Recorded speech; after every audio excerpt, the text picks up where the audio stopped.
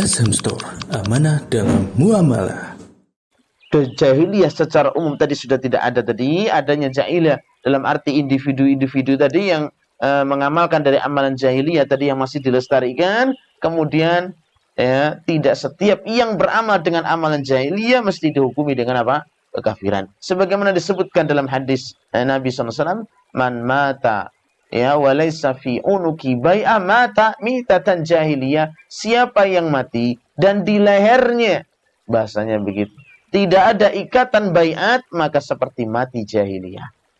Ya ini dalil yang kadang-kadang sebagian orang yang uh, yang membuat negara sendiri uh, pemimpin bawah tanah kadang-kadang harus mengajak baiat Wong dia sendiri itu bukan pemimpin. Pemimpin kok tidak dikenal. Pemimpin kok tidak memiliki wilayah.